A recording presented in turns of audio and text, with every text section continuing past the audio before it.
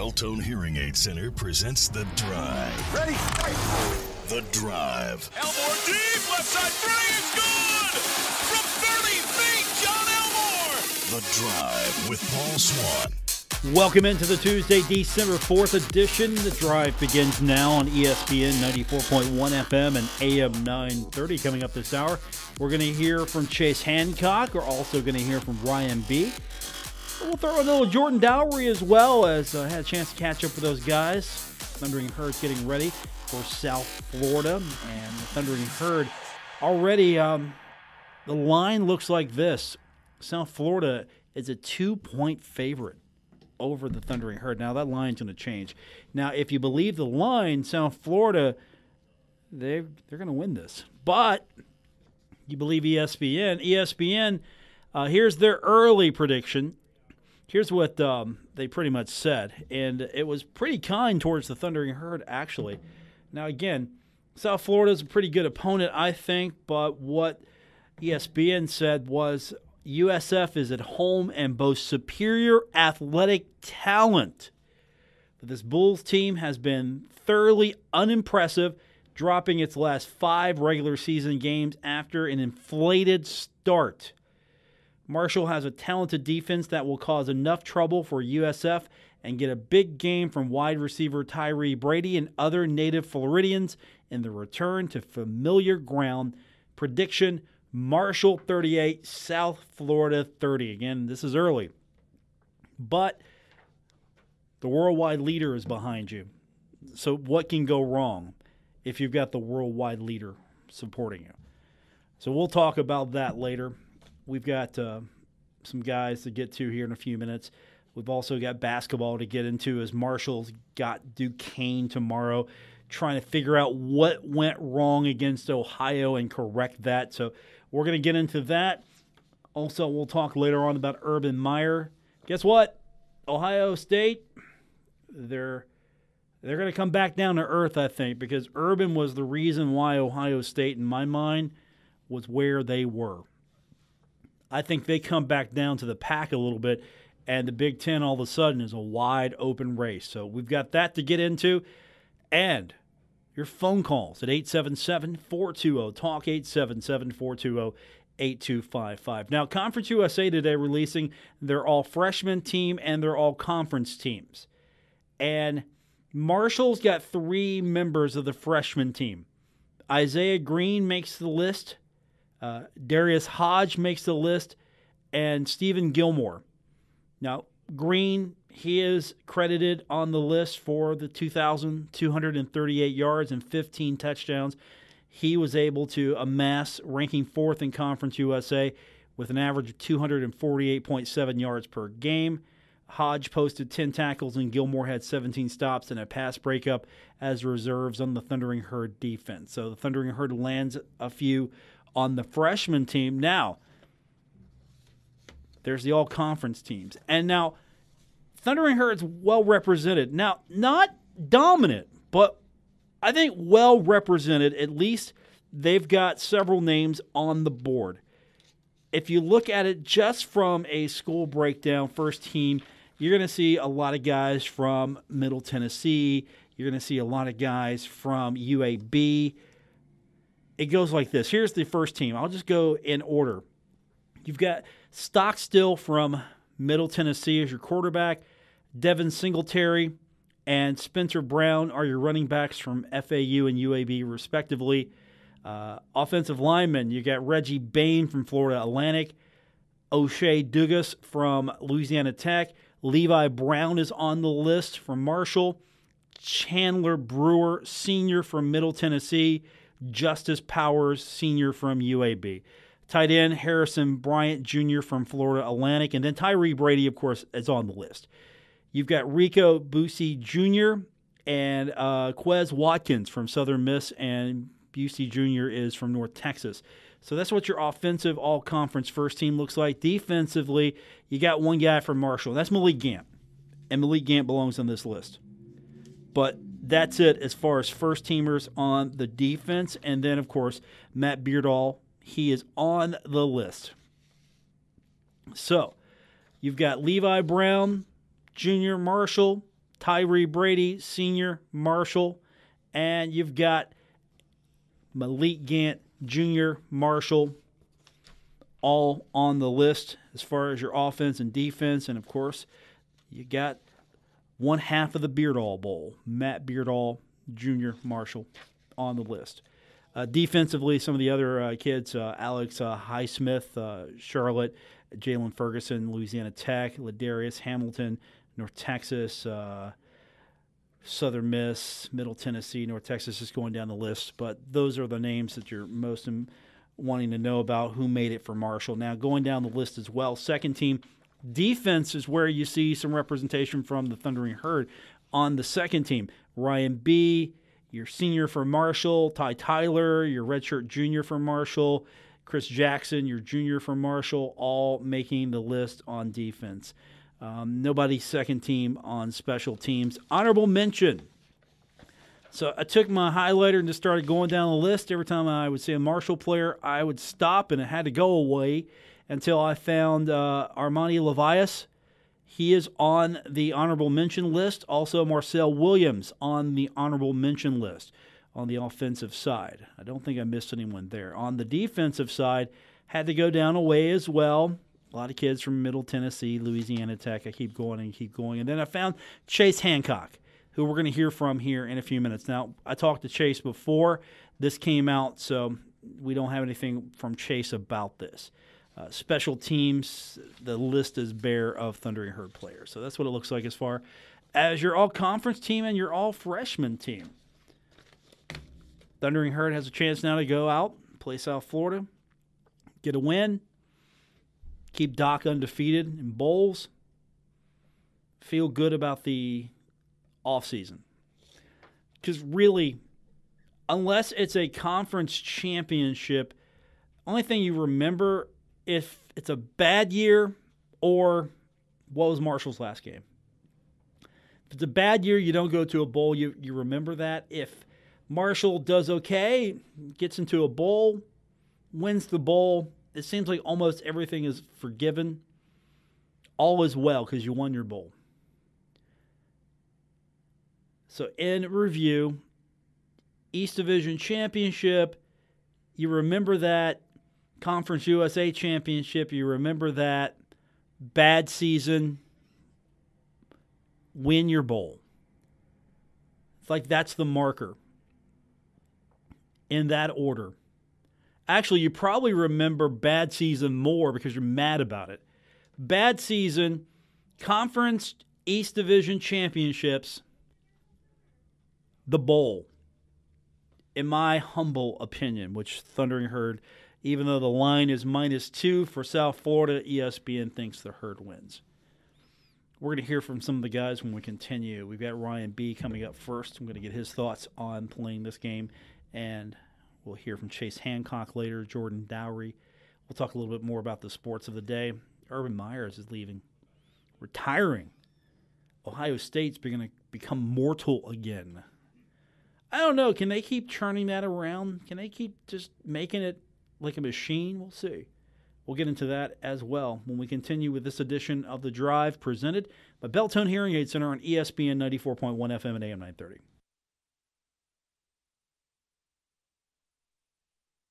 You're listening to The Drive with Paul Swann, presented by Beltone Hearing Aid Center on ESPN 94.1 FM and AM 930.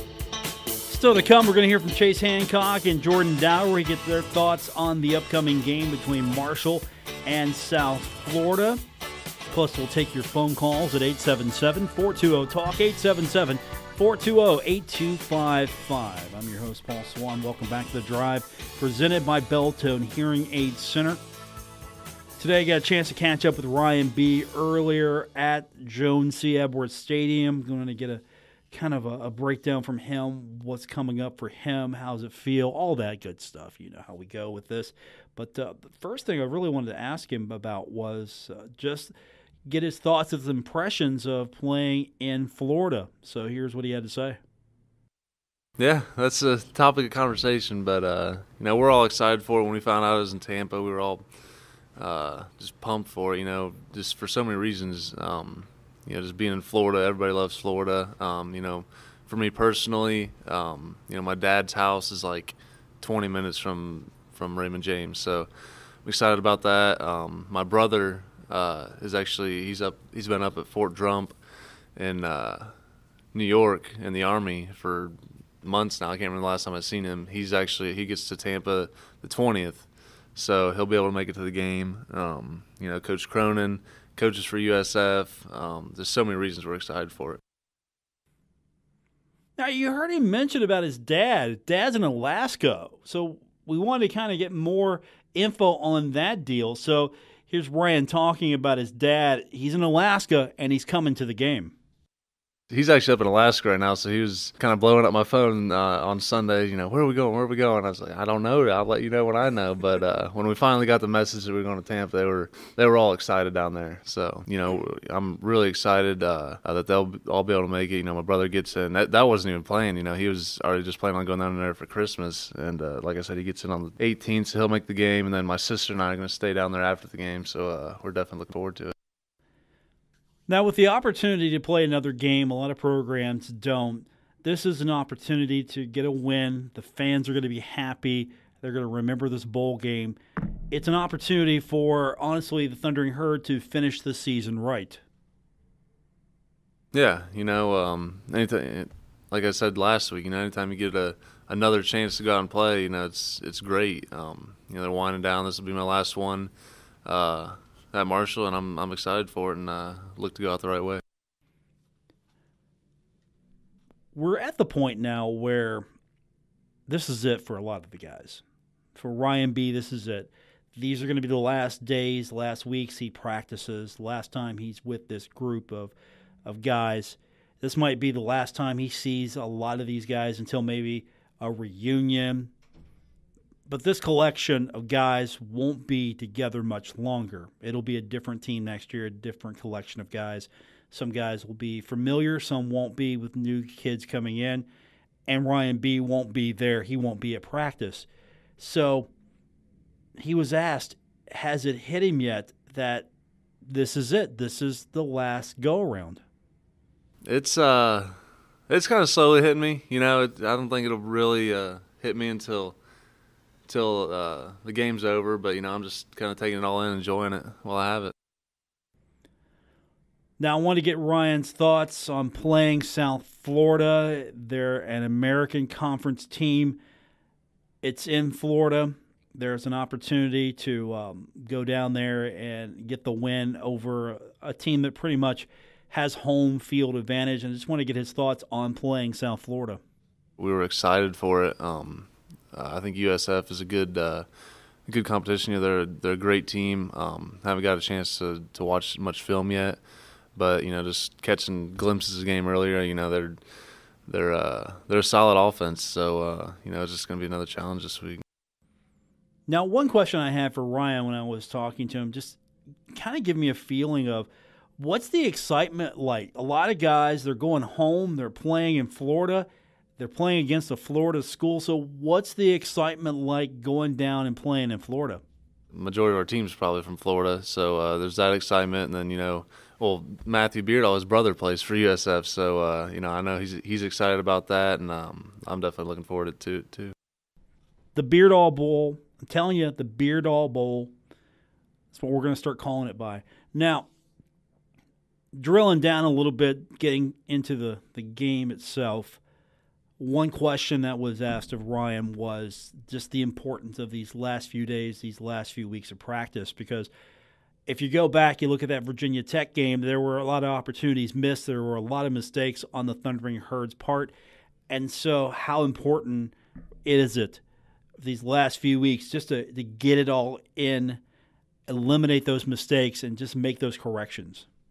Oh, it's it's very important. You know, we can't um, we can't think it's over. You know, we got another game, and uh, we got to take it just as serious as we have the last twelve. So, uh, um, you know, we got a couple days off now to uh, kind of recoup from the season, long season, and uh, get whatever bumps and bruises we have uh, worked out, and then um, we'll start practice uh, probably Thursday, and just kind of. Um, iron out those wrinkles that that kind of crept up on us the last few weeks. So um, you know, we're looking forward to get back to work. Another question that was asked of Ryan was just being self aware, knowing that you've got a limited amount of practices. This is it. After this, the game, it's over. So, with that in mind, are you going harder? Are the seniors going harder because they know this is it? This is their last go around? Oh yeah, definitely. You know, I said earlier. I'm just taking everything in and, and enjoying it while I have it because you know it's it's winding down whether we like it or not. And uh, so you know, I'm uh, just going to work like I have the past 12 weeks. You know, um, some of these bowl practices, uh, at the end of them, the young guys will get in and do do some drills um, to get them some work. You know, kind of a early spring practice for them. So uh, you know, I'll be um, working with them, helping them, uh, just coaching them all I can. And that's another thing. That's the importance of these bowl games for these programs. I remember having this conversation a few years ago. You know why Marshall was so good back in the day? Not only was the fact that they had a lot of great talent, a lot of repetition. They had opportunities to practice. Marshall in the 1AA days, playing in the playoffs every year, they had multiple games. So they were able to keep going and going and get those repetition and get these guys in, practice. Same thing going on here now at the bowl. So you have an opportunity. If you don't get to a bowl, it says something about your program. For one, you're not in a good spot, and two, you miss out on all this extra practice time. Now, Ryan, of course, he's a fun guy. We got a chance to to talk to him over the years, and this season especially, just hang out with him. And he's a guy with a personality. So we had to ask him about playing in what is probably one of the better named bowls. Say what you will about some of the bowls. The names, location might be great, names not so much. Hey, you're playing in the Bad Boy Mowers Bowl. I've already been talking with Will Almer, you know, the whole drive your tractor to school day thing uh, a couple weeks ago. Um, it's kind of crazy how it worked out. So uh, I've heard there's there's a lawnmower race, so we're yeah. definitely looking forward to that. So you know what his mind is on? His mind is on the bad boy mowers, the lawnmower race, and we had to follow up about that mower race to see uh, where his head's at on that. That was actually one of my summer jobs a couple years ago. My one of my best friends in high school has his own lawn care company, and he's got like the zero turns like that. So uh, I hope I get, I'm the one that gets the race. needless to say. so he wants the race. I don't know if Doc's going to sit there and go, yeah, you know, let's um let's take it easy on the on the mower here. But you got to admit, one of the better named bowls, the Bad Boy Mowers Gasparilla Bowl. It's got a pretty good logo too. I mean, if you're going to play in a bowl, you might as well have one that you can sit there with a straight face and, and smile at the same time, going, Yeah, we got a good one. How'd you like playing the Cheez It Bowl? Really, think about it. Cheez It Bowl, is that the bowl you want to go for? No. Potato Bowl? No. We need to talk about these bowl names. We might do that when we come back. We'll also hear from Chase Hancock and Jordan Dowry, get their thoughts on the upcoming game with South Florida. Your phone calls also on the way when we continue with this edition of The Drive. We are presented by Beltone Hearing Aid Center on ESPN 94.1 FM and AM 930. Listening to The Drive with Paul Swann on ESPN 94.1 FM and AM 930. We're presented by Beltone Hearing Aid Center on ESPN 94.1 FM and AM 930. I'm your host. Glad you're with me. Still to come, we're going to hear from Jordan Dowry, but I've got Chase Hancock for you.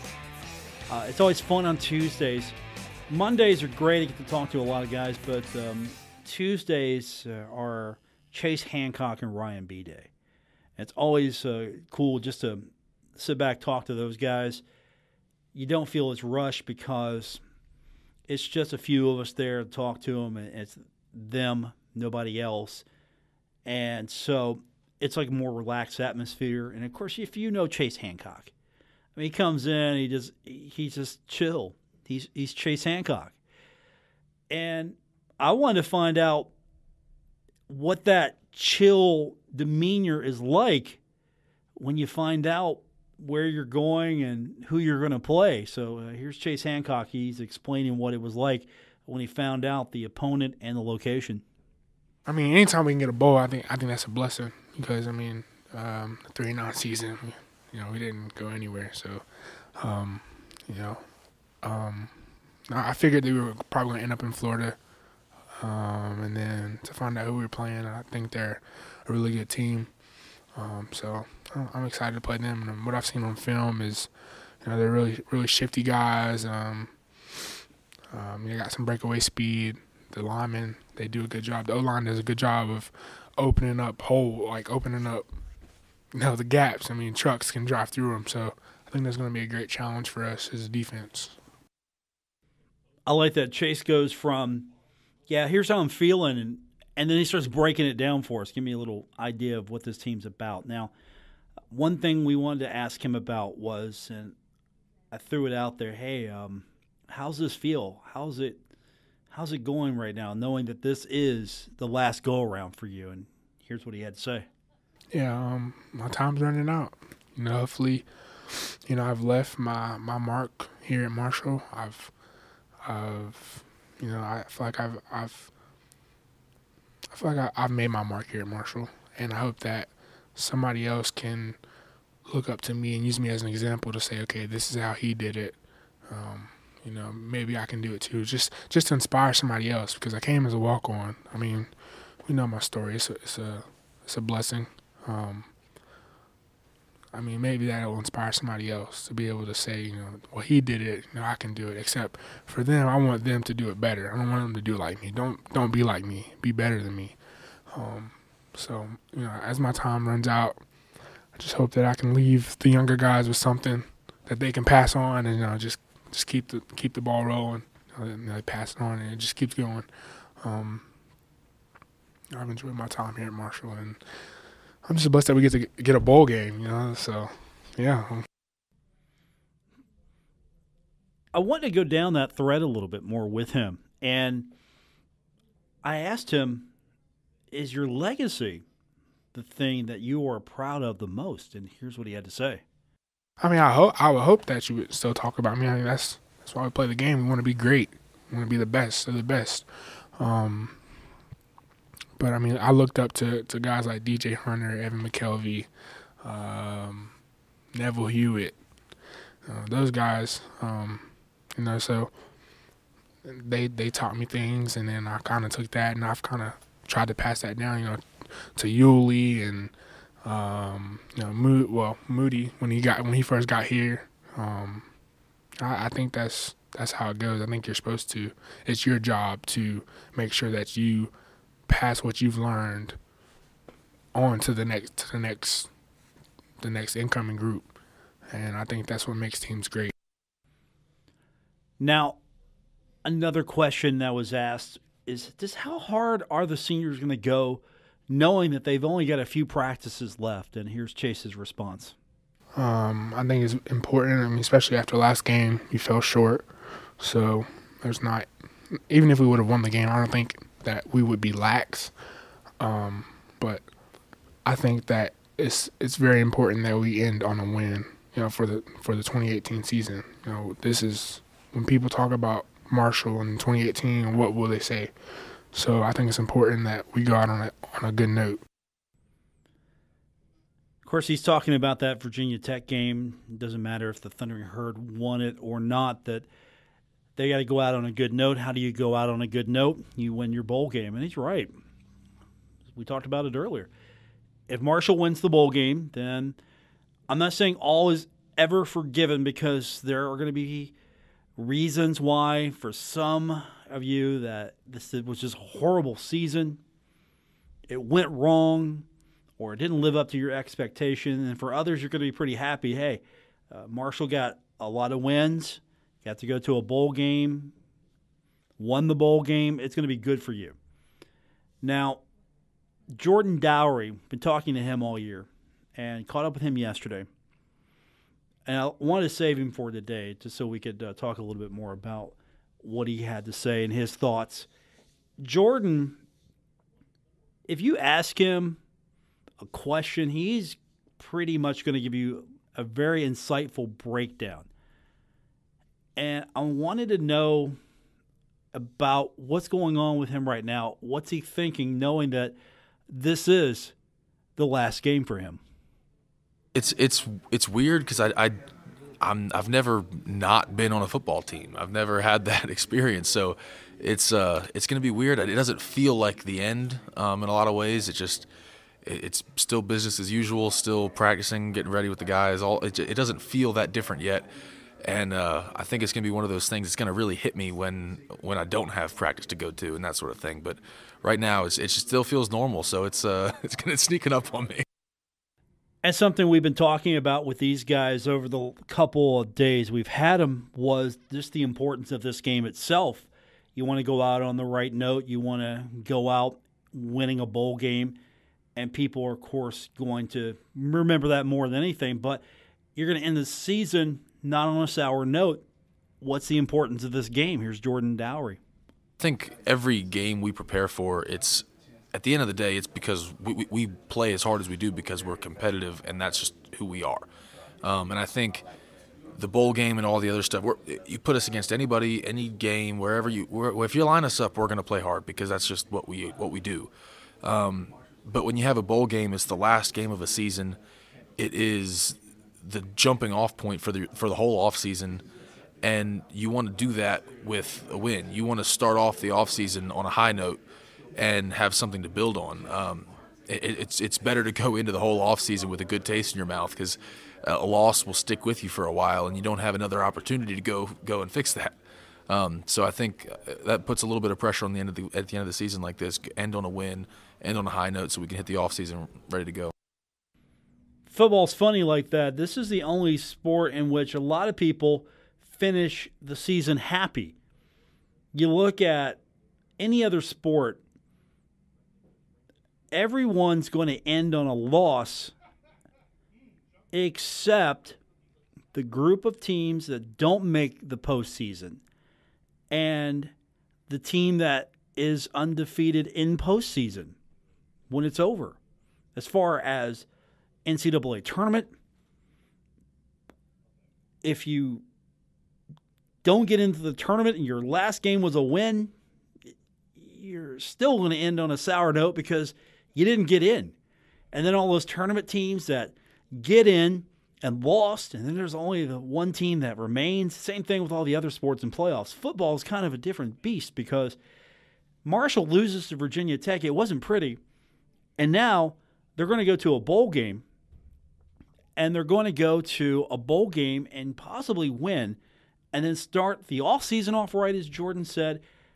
Fans are going to remember the bowl game probably more than the Virginia Tech loss, and they're going to feel good about Marshall football.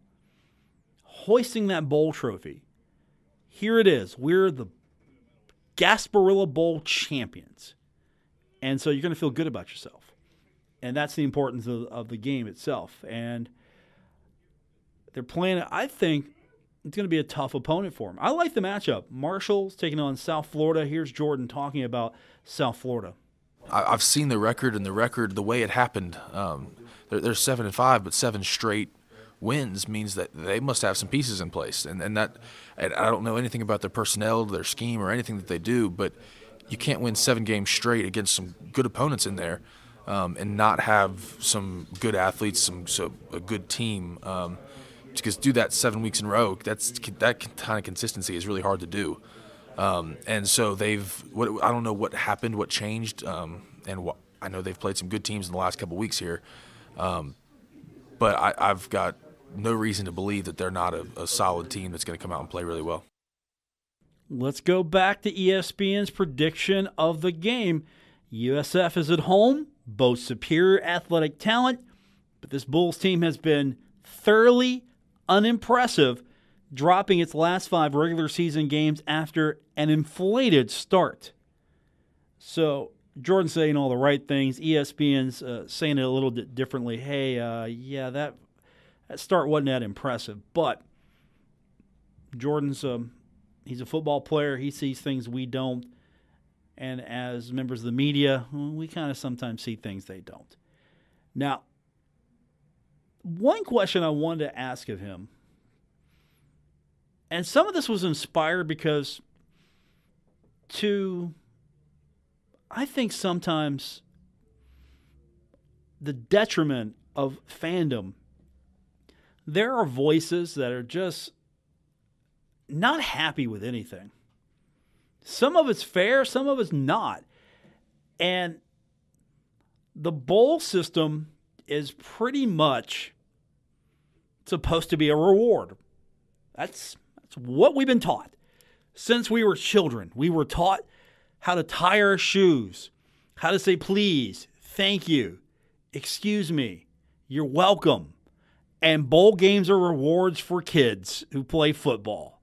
That's no Gabriel. That that didn't ha- that didn't happen in your household. Okay, at least that's my understanding of it. You got the little junior readers for football players. Bowl games are rewards. That's what the coaches tell you. And the kids get a kick out of this stuff. They really do. I'm not a big bowl guy when it comes to the fact that there's 500 million of them and several matchups. I'm just like, ah, I, all right, I'll watch it. I don't want to, but I'll watch it unless there's something else on that's better, then I'll watch that. But at the end of the day, I mean, who am I to say, hey, Jordan, man, you're playing South Florida. I'm not that interested in it, man. This this is it's terrible. It's terrible. Who am I to tell that kid, hey, you know what? Don't have fun. I mean, because I don't like the matchup, so why should you out there and enjoy yourself? That's kind of what I hear sometimes when some of the fans – speak out. And I'm not saying this is Marshall fans, but there have been some fans speaking out on certain schools' bowl selection, not pleased with it. And ultimately, at the end of the day, yeah, all the games are mediocre up until a certain point. I totally get that. But if you drill it down, why why are you disappointed if the kid's not? Right? Why are you disappointed? Are you disappointed because you don't get to go to a, a, a, great location? Is that what it is? You don't get to go see your favorite team play a different big time big time team, or are you just upset that oh man, you know, got to go here go watch them? I don't want to go here. Don't go. So I saw some of that. Just fans not happy. Fact that if you won a couple more games, maybe you'd be playing for I don't know one of the one of the holiday bowls, one of the committee bowls, one of the big bowls, one of the uh, college football playoff committee bowls. You know, one of the big bowls. If you win a couple of games, and maybe you get into a championship game, and then all of a sudden you win that championship game, you get a bigger bowl, right? Possibility.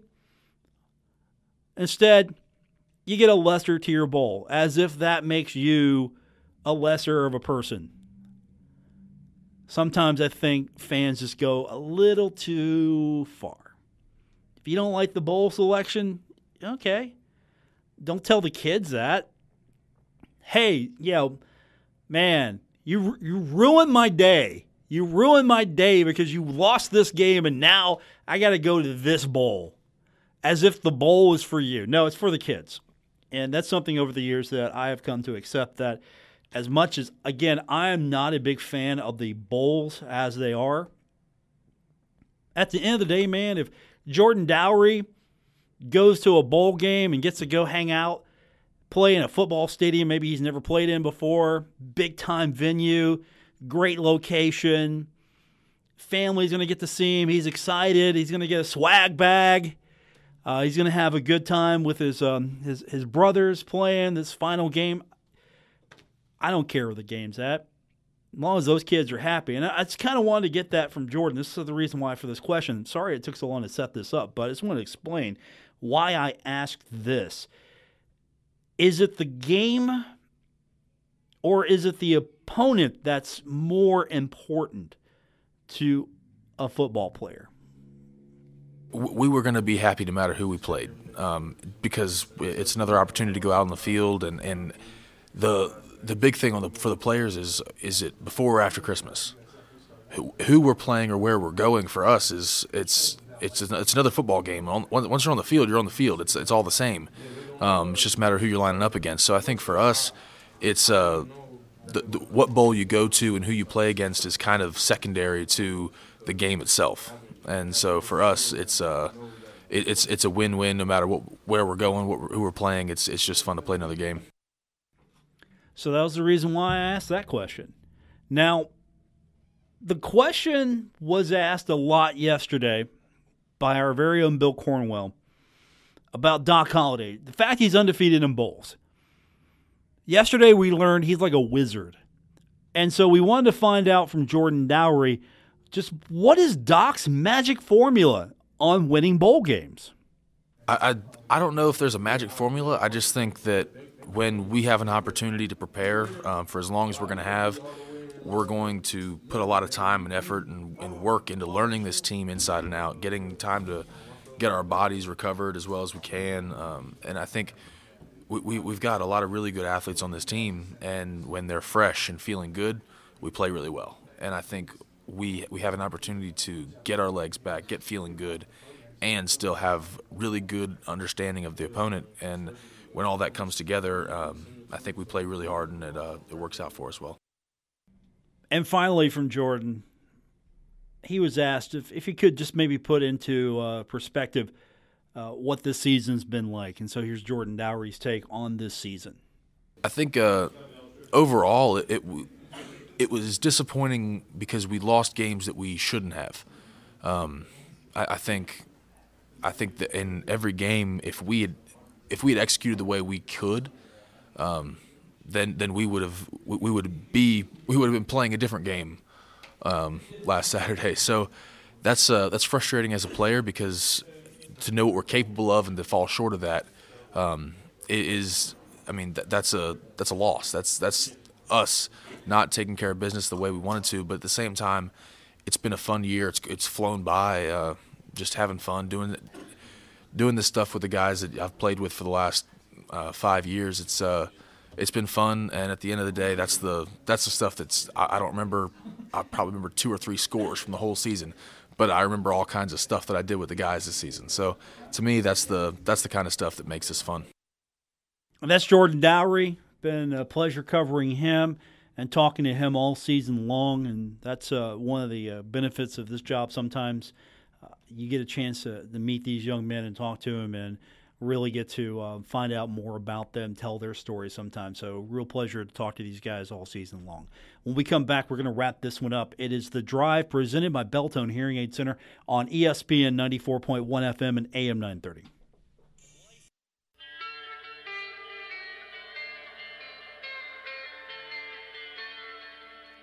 Now, back to the drive with Paul Swann on ESPN 94.1 FM and AM 930.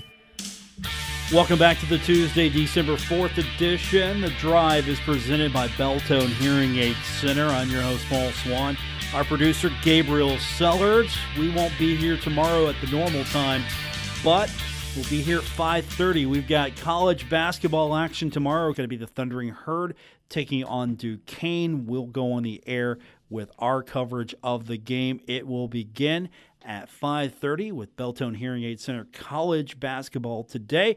And then we will have Steve Cotton coming to you live from the AJ Palumbo Center as the Thundering Herd at 5 and 2 look to rebound after losing against Ohio against 4 and 2 Duquesne. Jon Elmore right now third most in program history with 2038 points would like to add to those totals. CJ Burks, I'll say this for him. He's the guy right now. He has scored 10 points or more in all games this year for the Thundering Herd. Thundering Herd, believe it or not, uh, is only 1 and 2 on the road, though. Just a, another fun fact. They're 1 and 2 on the road. That lone win coming against Eastern Kentucky, 4 0 at home. So they got to find a way to get this one, start getting that road record back to a winning mark. That's going to do it for this edition. Again, want to thank our producer, Gabriel Sellards. I'm Paul Swann. Back tomorrow, 5.30 for Beltone Hearing Aid Center College Basketball Today. We'll preview the game between Marshall and Duquesne and take a look at what's happening across college basketball. Don't forget, if you missed any part of the show, missed any segment, you just want to go back and listen to it again, all you have to do is find us on Apple Podcasts, Stitcher Radio. We're on TuneIn. We're on Spotify. We're on Anchor, wherever you get your podcast. And don't forget, you can give me a follow as well. The Drive with Paul Swann on Facebook, also at Paul Swann on Twitter. Enjoy the rest of your evening, everyone. Good night.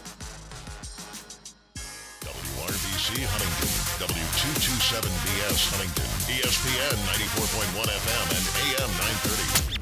Huntington Sports Station.